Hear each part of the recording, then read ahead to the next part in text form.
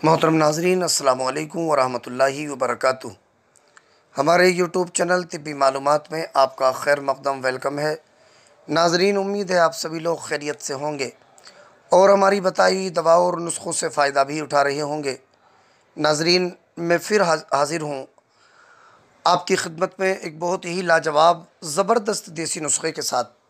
दोस्तों, आज का हमारा नुस्खा जरियान मनी, यानी धात रोग से मुतक़ है और आज धात रोग को ख़त्म करने के लिए इसके अलावा एहतलाम यानी सपनदोश नाइट फॉल सूरत इंजाल यानी शीघ्र पतन को, सेक्स टाइमिंग की कमी को जड़ से मिटाने के लिए एक ऐसा नुस्खा आपको बता रहा हूँ कि जिन लोगों को ये समस्याएँ हैं, परेशानियाँ हैं, अगर वो इस नुस्खे को बनाकर इस्तेमाल कर लेंगे तो इन बहुत जल्दी उनकी ये परेशानियाँ बिल्कुल जड़ से ख़त्म हो जाएँगी और वो एक अच्छी और स्वस्थ, निरोग ज़िंदगी गुजारने लगेंगे।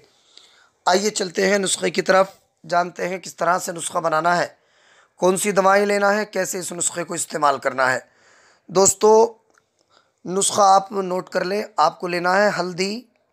तीन हल्दी लेना है आपको दस ग्राम। इसके अलावा आपको अजवाइन खुरासानी लेना है, दस ग्राम। और तीसरी चीज़ आपको मुश्क काफूर लेना है, ये पाँच ग्राम। तीनों दवाएँ ले लें और इन तीनों दवाओं का बारीक आप पाउडर बनाएँ। पाउडर बनाने के बाद शहद की मदद से चने के बराबर गोलियाँ बना लें और फिर इन गोलियों को आप सुखा कर रख लें। बस, धात की दुश्मन गोलियाँ तैयार हो गईं। बहुत ही लाजवाब हैं ये गोलियाँ।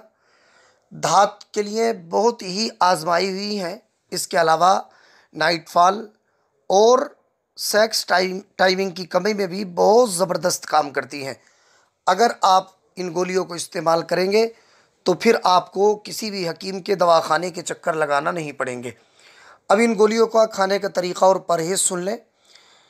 खाने का तरीक़ा यह है, दो गोलियाँ सुबह को सुबह को खाली पेट बकरी के दूध के साथ या गाय के दूध के साथ आप इस्तेमाल करें। और दो गोलियाँ रात को सोते टाइम गाय के दूध से या बकरी के दूध से इस्तेमाल करें। इन पाँच छः दिन में आपकी ये समस्या ख़त्म हो जाएगी। बहुत ही परफेक्ट और बहुत ही लाजवाब नुस्खा है। जिन्हें ज़रूरत है, वो ये दवा बना लें और ख़ुद ना बना सकते हों तो हमसे कांटेक्ट कर लें। और बनाकर इस्तेमाल करें और अपनी बीमारी को ख़त्म करने की कोशिश करें। अल्लाह शिफा देने वाला है। अल्लाह पे भरोसा रख के दवा इस्तेमाल करें। इन आपको शिफा मिलेगी और दुआओं में भी याद रखें।